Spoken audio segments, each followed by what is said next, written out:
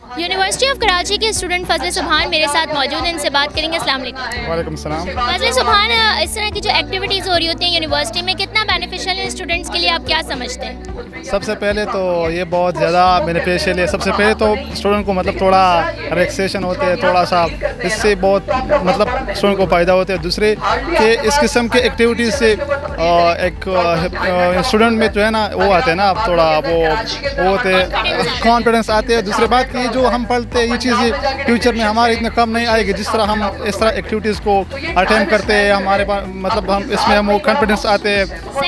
کی ایکٹیویٹیز میں اسپانسرز آپ کے ساتھ ہوتے ہیں اینڈ آئی گروپ بھی آپ کے ساتھ ہے۔ اینڈ آئی کے لیے کیا پیغام دینا چاہیں گے؟